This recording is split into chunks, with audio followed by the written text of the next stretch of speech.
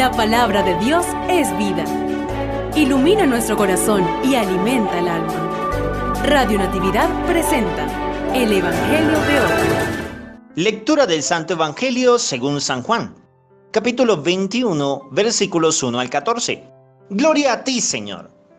En aquel tiempo Jesús se les apareció otra vez a los discípulos junto al lago de Tiberíades. Se les apareció de esta manera. Estaban juntos Simón Pedro, Tomás llamado el gemelo, Natanael el de Caná de Galilea, los hijos de Zebedeo y otros dos discípulos. Simón Pedro les dijo, voy a pescar. Ellos le respondieron, también nosotros vamos contigo. Salieron y se embarcaron, pero aquella noche no pescaron nada.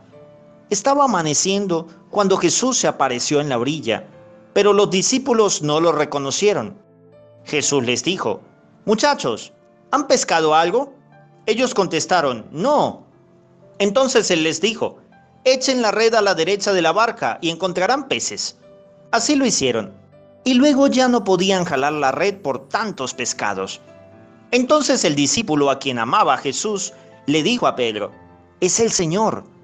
Tan pronto como Simón Pedro oyó decir que era el Señor, se anudó a la cintura la túnica, pues se la había quitado, y se tiró al agua. Los otros discípulos llegaron en la barca, arrastrando la red con los pescados, pues no distaban de tierra más de 100 metros. Tan pronto como saltaron a tierra, dieron unas brasas y sobre ellas un pescado y pan. Jesús les dijo, traigan algunos pescados de los que acaban de pescar. Entonces Simón Pedro subió a la barca y arrastró hasta la orilla la red, repleta de pescados grandes. Eran 153, y a pesar de que eran tantos, no se rompió la red. Luego les dijo Jesús, vengan a almorzar. Y ninguno de los discípulos se atrevía a preguntarle, ¿quién eres? Porque ya sabían que era el Señor. Jesús se acercó, tomó el pan y se lo dio y también el pescado. Esta fue la tercera vez que Jesús se apareció a sus discípulos después de resucitar de entre los muertos. Palabra del Señor. Gloria a ti, Señor Jesús. Un saludo de paz y bien para todos aquellos que nos escuchan a través de Radio Natividad, la emisora católica del Táchira, donde celebramos con júbilo el triunfo del Señor sobre la muerte, su resurrección y la vida eterna. Hoy, queridos hermanos, hemos escuchado el capítulo 21 del Evangelio de San Juan, el último, con el cual el apóstol concluye su evangelio, muy rico en simbolismos evangelizadores, sobre todo para la misión de Pedro, para guiarla con amor. Vemos que los apóstoles están allí, el Señor resucitó, pero no terminan de arrancar. Será necesario todos estos días de compartir con su maestro para terminar de afianzarse en la fe. Pedro le provocó pescar. ¿Cuánto tiempo tendrían sin pescar? tal vez desde que conocieron al Señor, tres años y algo. Los demás les provocó lo mismo.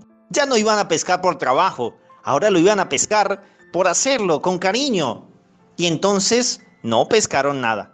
Se repitió la misma historia, solo que el Señor volvió a aparecer y les dice, echen la red a la derecha, porque si no escuchan al Señor, ¿cómo encontrarán peces? Así lo hicieron y no podían jalar la red por tantos pescados. Detalle importante, el discípulo amado Juan le dijo a Pedro, es el Señor. En esta semana de Pascua vemos la dificultad en reconocer al Señor por parte de María Magdalena, de Pedro, de Cleofás, los discípulos de Maús, los demás apóstoles. El discípulo amado es el que reconoce al Maestro. ¿Y por qué lo hace? Lo reconoce porque lo sigue, lo escucha. Ha sido bastante atento, tenemos que aprender a reconocerle. Vemos la euforia de Pedro al saber que era el Señor. Se lanza, nada aproximadamente 100 metros del mar, llega a la orilla, ve a su maestro, luego le dice, traigan algunos pescados. Y este hombre, tal vez de una manera tosca y ordinaria, agarra esa red con 153, creo que eran, y los trae sin romper la red hasta donde está el Señor. Está lleno de euforia, le emociona ver a Jesús y entonces comparten el pan. Otro detalle importante para Jesús durante estos días será compartir el pan. El pan, lamentablemente muchos no creen y otros han dejado de comer. el pan de vida eterna, dice el capítulo 6 de San Juan, el pan de eterna salvación. La pregunta es, ¿tú y yo reconocemos a Jesús o hemos dejado de reconocerle? También día a día, en cada persona y especialmente hoy en el hogar. No olvides las etiquetas, los sacerdotes buenos somos más y yo tengo un amigo sacerdote. Dios te bendiga. Gloria al Padre y al Hijo y al Espíritu Santo, como era en el principio, ahora y siempre, por los siglos de los siglos. Amén.